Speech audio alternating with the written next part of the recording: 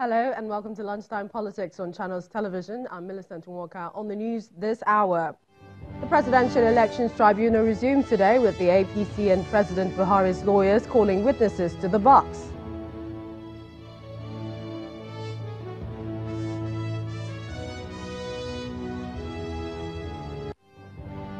And again, more reviews of the 2019 elections as a coalition observer groups faults legal framework, logistics and operations strategy of INEC and use of security apparatus by political elite. And there appears to be a legal stalemate in Edo State with the stance of the state government on the decision of the Senate for the governor to issue a fresh proclamation letter to reconvene the state assembly.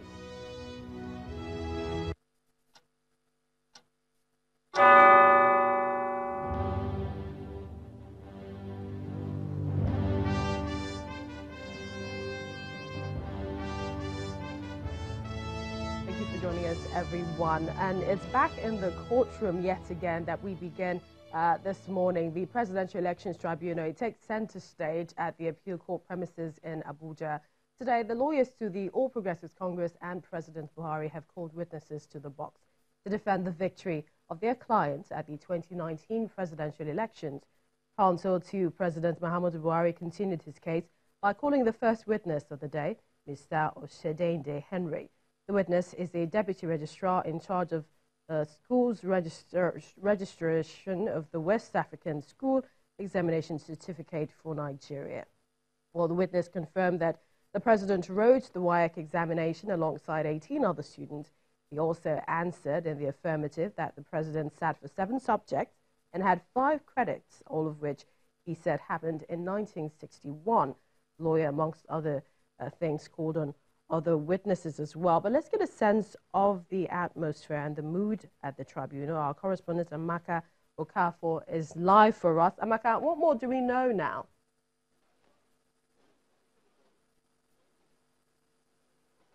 President Muhammadu Buhari continued his defense in the petition filed by the People's Democratic Party and its presidential candidate Alhaji Atiku Abubakar by calling additional four witnesses. The first witness was subpoenaed West African Examination Council, and he is Mr. Sunday Oshidende, who said he is the Deputy Director of Administration for Nigeria. The witness the um, examination in chief confirmed that the result from Cambridge is indeed a reflection of the president's scores in the West African Examination Council exam, which he when he took the exam.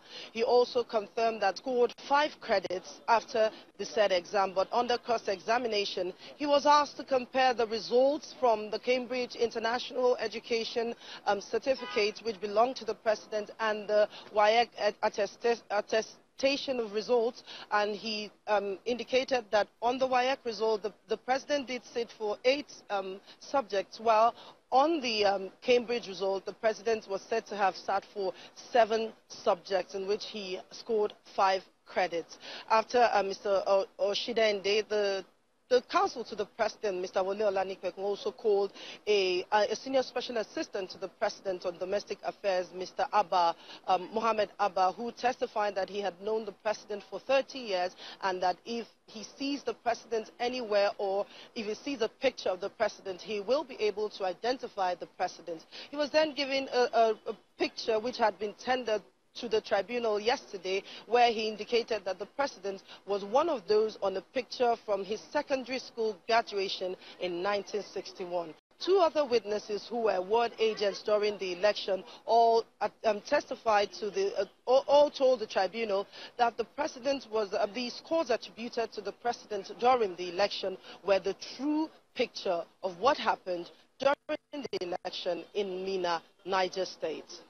All right, many thanks, to Amaka Okafor. With the latest, we'll continue to fill you in on the latest of the proceedings at that uh, petition tribunal.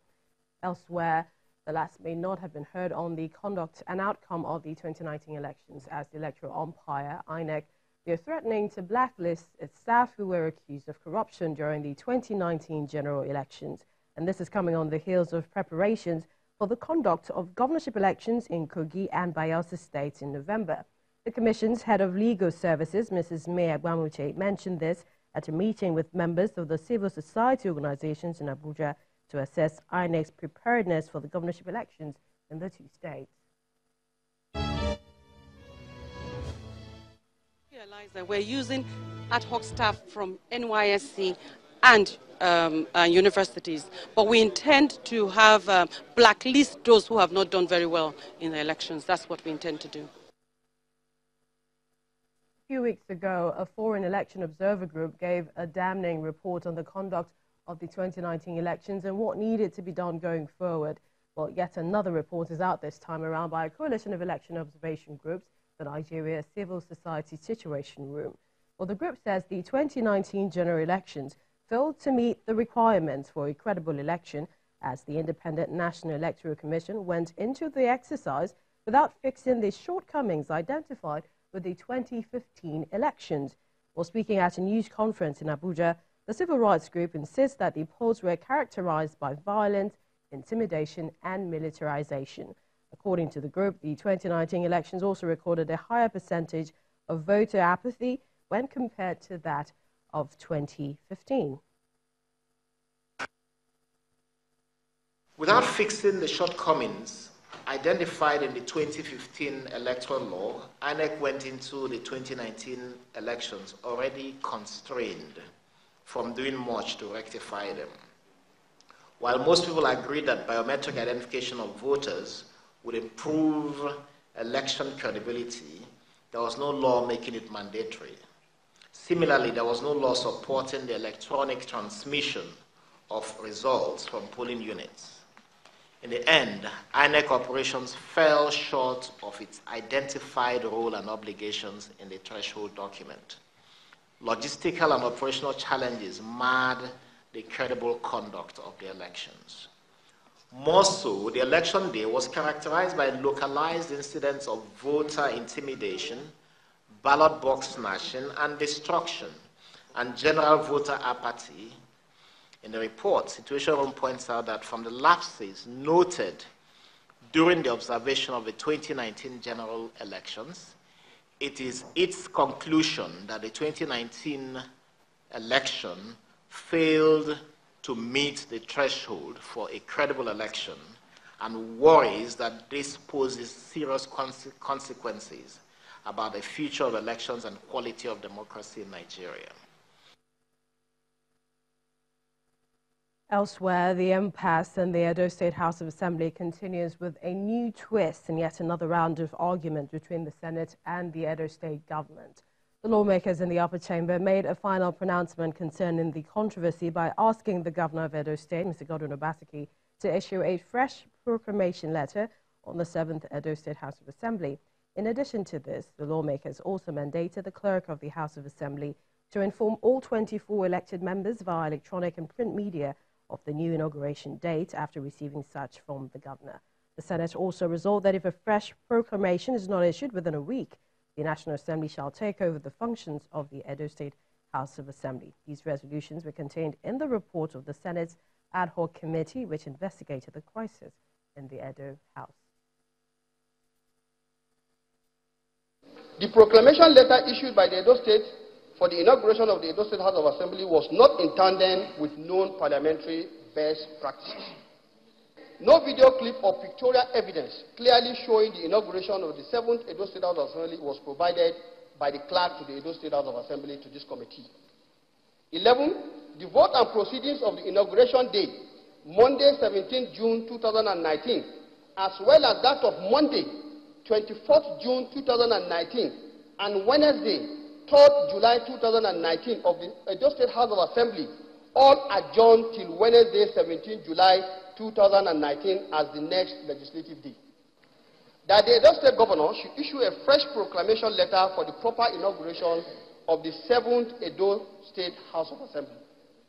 Two, that the clerk to the Edo State House of Assembly should, in line with previous practice, formally inform all the 24 members elect of the inauguration of the State House of Assembly upon receiving the proclamation letter through media adverts in both print and electronics in conformity with parliamentary best practices.